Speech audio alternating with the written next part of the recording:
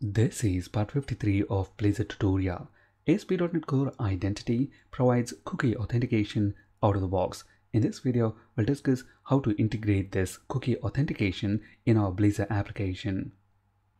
Our first step is to scaffold ASP.NET Core Identity into our existing Blazor application. ASP.NET Core Identity provides user registration, login, logout, two-factor authentication, etc. out of the box. We discussed scaffolding ASP.NET Core Identity in part 51 of this Blazor video series. ASP.NET Core Identity Scaffolder added this identity area. Within this folder, we have all the related Razor pages and the source code files. Our next step to integrate cookie authentication is to add the related services. We do that in configure services method of the startup class. Add authentication. This method adds authentication services. As a parameter, we need to specify the default scheme. ASP.NET Core Identity writes a cookie with the scheme identity dot application. So we have to specify the same string as the default scheme. Otherwise, cookie authentication does not work as expected. We'll see this in action in just a bit. And then we call the method add cookie. As the name implies, this method adds the cookie services.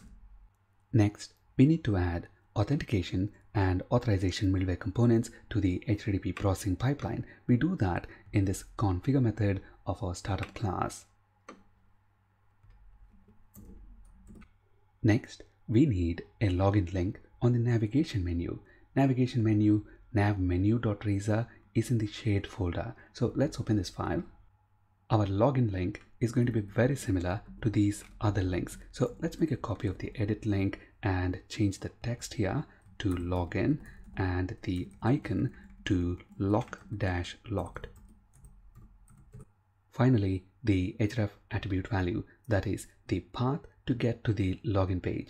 If we take a look at the login page scaffolded by the ASP.NET Core Identity Scaffolder, it is present in the Pages folder in the Account folder. So the login page is right here. So the full folder structure to get to this file is areas slash identity slash pages slash account. However, in the URL, these two folders, that is areas and pages are not required. So the relative path to get to this login page is slash identity slash account slash login. So we specify that as the href attribute value right here.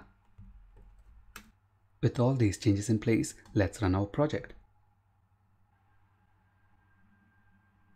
There we go. We now have the login link. When we click on it, we are redirected to the ASP.NET Core Identity login page. We don't have a user account yet to log in, so let's register as a new user. Provide email, password, confirm password, registration successful. Click this link to confirm your account in a real world, we'll send a confirmation email to the provided email address. On our local machine, this is fine. This speeds up our development. So let's click this link to confirm our account.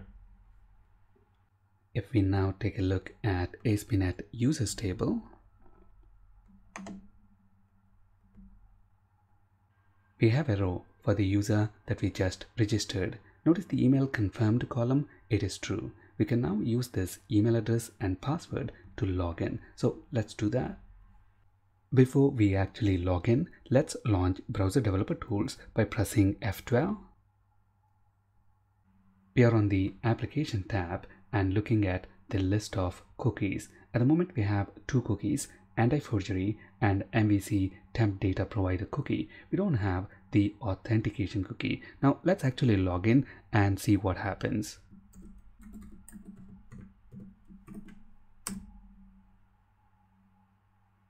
We are logged in, we now have a third cookie, identity.application. This is the authentication cookie. And one important point to keep in mind here is the name identity.application. So the name here and the default scheme that we have specified right here must match. Otherwise, cookie authentication will not work as expected. So this authentication cookie is sent with every request by the browser to the server automatically. Looking at this cookie, the server knows the user is already authenticated. When we log out, we remove the authentication cookie. At the moment, we don't have logout functionality. We'll implement it in our next video. That's it in this video. Thank you for listening.